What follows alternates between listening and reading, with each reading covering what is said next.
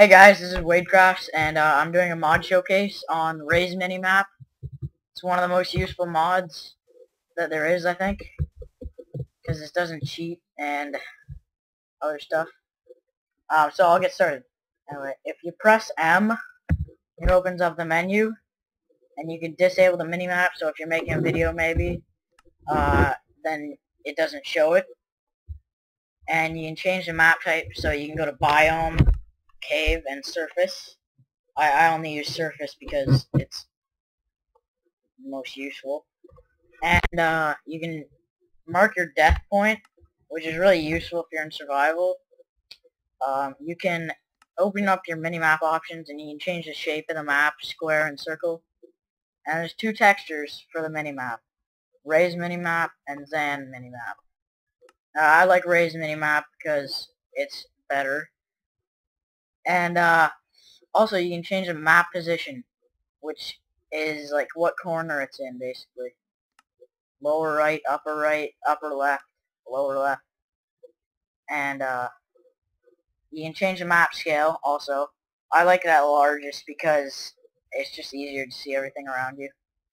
You can have it GUI scale, auto, small, which is just ridiculous, normal, large, and larger. And you can also, this is actually a really useful feature, you can see make it so you can see through the map, so you can see what's behind it, and stuff like that. Look at that. You can see what's behind it. So I can see the cactus through this.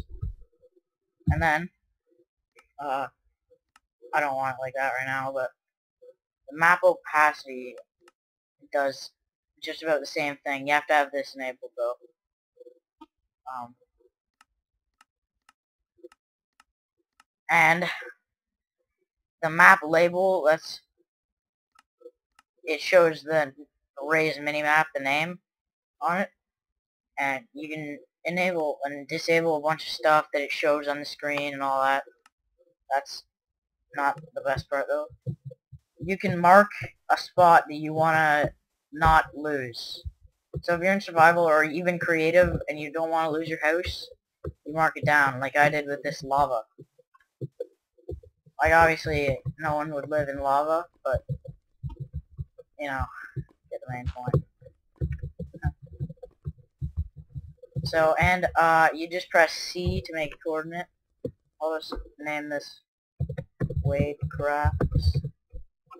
And then it's right there. You can change the color so they uh, don't match. These colors just happen to be around the same color.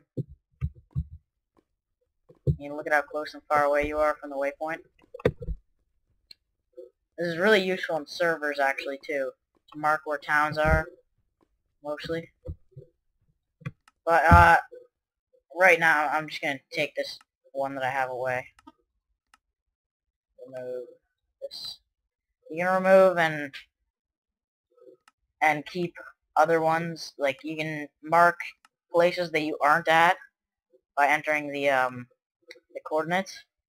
You can change the buttons that you press to open all these things. And that's about it.